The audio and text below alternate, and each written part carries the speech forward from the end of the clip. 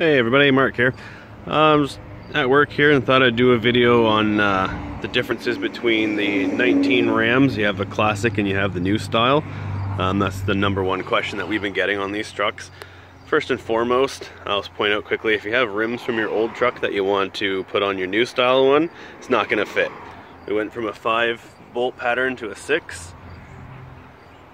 Tires got a little bit bigger, the whole truck overall length went up about four inches, so it's the biggest cab in the industry as of right now. Um, you can still get long boxes on it. The interiors of them are a lot more spacious. Again, they're about four inches longer. The box is a couple inches taller, goes right up to the window now instead of where it used to come down uh, just below the windows there few other differences they did, apart from the towing capacity is greater on the new style trucks, uh, depending on what rear end that you get on it. They moved simple things like the uh, backup camera, which used to be at the side, right to the middle. On the roof there you can kind of see how it uh, concaves in right there. That's to eliminate the bed swirling now. They also elongated the tailgate, which is going to act as more of an airfoil, so the air is going to come down off the roof, come right over this, acting as a wing, and then coming down the truck. So it's a lot more streamlined now. Um, they've changed the bumper designs on them. You can get things in them now like the 12 inch screen, which I'll show you in just a moment. This is one of the more base model ones. Still a really nice truck. Um, it's a nice entry level truck. Nothing too fancy. It is the Hemi. They changed the badging from uh, the, the fender there up onto the hood.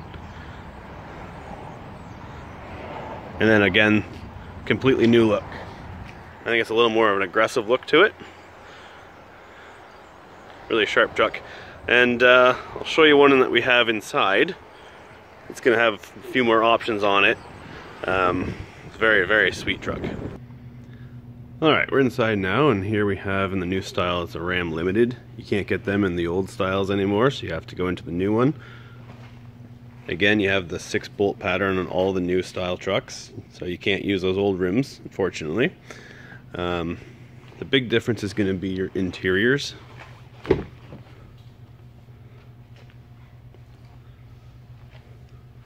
can get the full sunroof in them now, all the way back.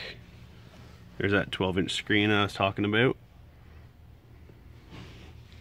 All real leather, all real nice.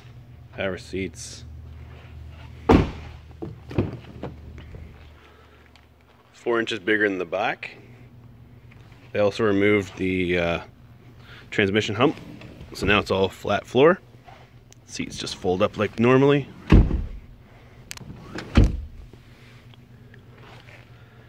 Tons of space for every need for every family.